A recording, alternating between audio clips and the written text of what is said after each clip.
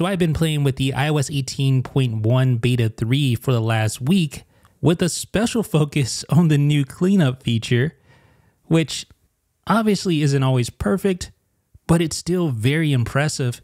And it's a feature that's really going to make the Photos app all the more useful. Let's check it out right now.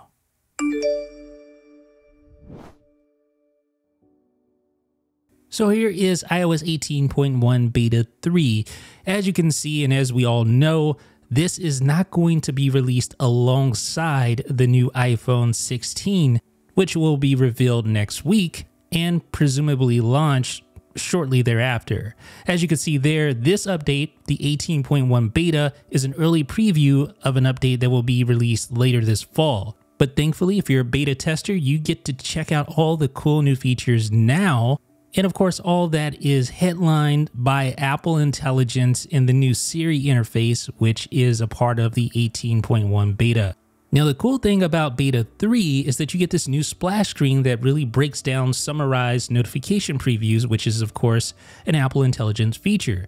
And what it does is that it can succinctly make notifications or groups of notifications easier to read. So you get the here's to the crazy ones poem.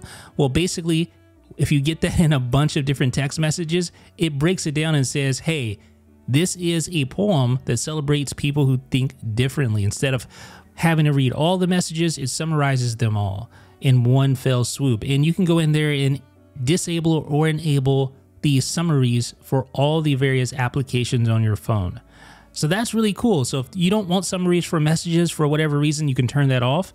But as I've stated before, I think notification summaries is the new sleeper slash killer feature for Apple Intelligence. It just makes it so easy to quickly understand what's being said. Now, of course, you get the new Siri interfaces I talked about earlier. So you get that slick new animation. Of course, you have Type to Siri, which allows you to double tap the bottom edge of the screen to type your request instead. So here is the welcome to iPhone splash screen once you get through the whole setup, the initial setup with the 18.1 beta 3. And here is the build number 22B5034E. And it just basically breaks down everything we showed you earlier with the download. Okay, so let me show you why message summaries, why I call it the killer feature. So you see all these messages from YouTube Studio. Now, of course, I can break these out and read them individually, or you can read the summary. You see a little summary icon so it's talking about the 45 watt power brick, live Nest Cam Wear OS, and the Elite Prime review. But when you break that out, you can see all these messages individually. And while it gives you more details, really the message summary gives you just a quick overview. You can quickly gain context as to what's all being said with just one message. It's really handy. Doesn't always work perfectly depending on what the contents of the message is, but when it does work, it's really good. So you can go into settings, notifications, and you see summarized previews. So the little splash screen I showed you earlier during the, during the setup, well, you can actually find that within the notification preferences. You can have a global setting to turn off summarized preview globally, or you can go individual apps and turn off those individual apps if you wish to do so. If you don't want preview summaries for a particular app. Now, I showed you this in a previous video, how to create a memory movie with just a description. So you can just type in a prompt, but you can also include music in your prompt that you want to play alongside your memory movie. So I'm going to say Memories in Japan with Coldplay's, shout out Chance Miller, Yellow. All right. So it's going to create a memory movie about Japan with Coldplay's Yellow as the soundtrack, and it works. Now, unfortunately, I'm not going to be able to let you hear it, but trust me, Coldplay's Yellow is playing right now. I'll turn the volume up, volume up just so you can hear a quick snippet. and that's all I can play because I don't want to get copyright dinged. But trust me, that is what I hear right now as this memory movie is playing back. So this new Apple Intelligence feature, really cool, especially with the ability to specify the soundtrack for your movie. And again, you will need Apple Intelligence enabled to use memory movies. So now let's talk about the new personal assistant improvement. So, of course, you can double tap the bottom of the screen to open up the type to Siri feature. So, I typed in a prompt there, and then you can continue that conversation with voice commands as well if you want to do that. So, I just asked, What time is it in Chicago? And then I said, What's the weather like there? And it was able to follow along with the context. And again, that beautiful animation which unfortunately is going to be limited to the iPhone 15 Pro lineup and the iPhone 16 lineup, including the non Pro iPhone 16 devices. Everyone else gets that regular old school Siri prompt. And like I said, if you disable Apple Intelligence, then you don't get the memory movies and many of the other Apple Intelligence features. Now, this right here, folks, this is the star of this update, no doubt, but I really wanted to break down why cleanup the feature teased at WWDC, which is finally here in beta 3, why this is such a cool feature. Now, previously, if you wanted to go in and make edits to a photo, you couldn't do that in the Photos app. You would have to use something like Pixelmator, which I'm using here, to get rid of stuff in photos, to clear up blemishes, etc.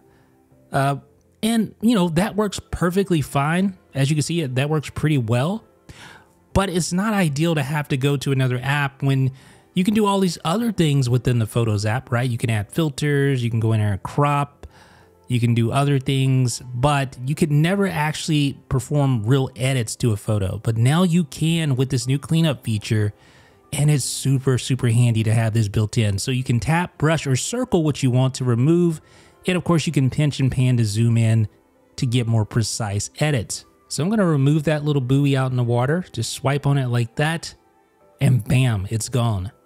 Don't need to open up another app to do that. You can do that right within the Photos app editor.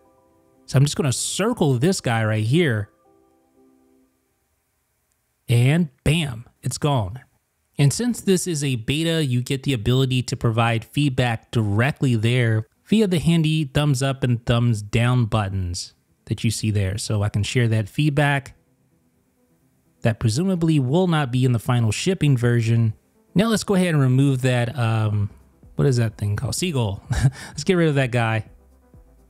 And he's gone just like that. Okay, so now let's go ahead and tap the done button and let's start pixel peeping a little bit to see if we can tell where these changes have been made.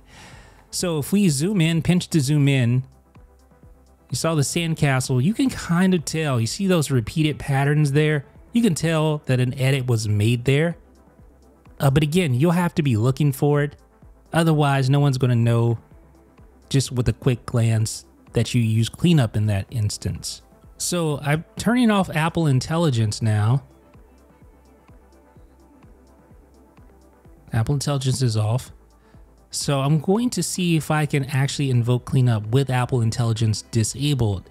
So maybe this will be a feature, as you can see, it still in, is enabled. So maybe this will be a feature that is included with the non Apple Intelligence eligible devices. Who knows? Maybe it will be on the iPhone 15 regular edition. Another cool thing, you can also use cleanup to alter screenshots. You can go in there and I just swiped on my name there and it got rid of it. Same thing with the play option. So that totally gets rid of play. And yeah, you, you would be none the wiser in this case. You zoom in, I don't see anything. So that's really cool, editing screenshots. Now, here again, you can circle, well, you gotta look, see the occlusion, see how it wants to go behind my hand and not complete the circle. So you gotta have to, to make sure you pay attention to where you're drawing the circle or starting the circle in order to grab the item that you're looking to grab. Now, that didn't turn out too well. That did not turn out too well. So let's be a little bit more precise. There we go. And now let's see how it works out. All right, so you know it's decent. Obviously, you still see the shadow there. You can try to remove the shadow if you want to, but then you're gonna you're gonna start. Yeah, it's just not gonna work all that well. Uh, so you have to kind of pick and choose your battles with the cleanup feature. Obviously, certain things aren't going to work as well as others when you get real complex things you're trying to remove. You also have the ability to tap and remove. It'll suggest certain items to tap and remove. And as you can see, it doesn't always work perfectly because it's sort of using like a cloning feature. It'll like create things out of thin air that sort of match what was around before and try to put it together, but it doesn't always work all that well. So I'm going to try to delete myself from this Cybertruck photo. just going to scribble on myself. It highlights me and it gets rid of me pretty well. You can kind of see the little outline of where my body once once was. And you can also see my shadow. I can try to remove the shadow. But as you might imagine, this is a pretty complex situation here. So it's not going to perform all that well, at least in this initial version of cleanup. Now, what I was really impressed with though here, when you have a simpler subject matter, like you have the umpire, you have the base runners, you just simply swipe. Let's try it again. Swipe like that, it'll highlight that person and gets rid of them just like that. It is pretty well done. You can even get rid of the baseball bat over here. Just swipe on it, highlights it, and it removes it. It isn't perfect, obviously, but for a quick and dirty edit, it works pretty well. I'm relatively impressed. It's only going to get better. And again, remember, this is a beta, so you can't really be too judgmental about it because it's still in the works, it's still in development. So keep that in mind. Now, here's something really cool. Well, something really scary and something really cool. So, first of all, I'm going to circle my face and watch what happens here. Wow. That is um that's an interesting, I don't know, some people might say that's an improvement. And to that, I would say that that's not very nice. But when it comes to faces, one of the things that I do like is the ability to quickly censor. So if you just do a little slash like this diagonally, it will censor out a face just like that, which can be super handy, especially if you have children, you don't want their faces all over the internet, and I don't blame you then this is a great way to quickly edit their faces out of a photo that you plan on sharing online. It's super simple, super easy. Just do a little slash. Let's actually try that again with my Cybertruck photo. So we're just going to revert back. Put me back in there. And let's go to cleanup. And let's perform a censor again on my face. So just a slash and it censors just like that. Super simple, super easy. Oh, and one more thing. You can tell if a photo has been edited using cleanup within the metadata. So we're just going to open up a photo here and then swipe up to view its metadata. And then you're going to see modified with cleanup. So that'll show you that just so you can quickly see. But like I said, a lot of times if you pixel peep, it's going to be obvious. But in this case, you can make sure.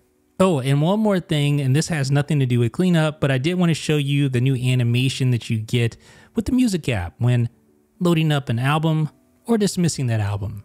Nice new animation. What do you guys think? So ladies and gentlemen, that is a look at iOS 18.1 Beta 3. What do you guys think? Let me know down below in the comment section and check out these videos as well. This is Jeff with 9to5Mac.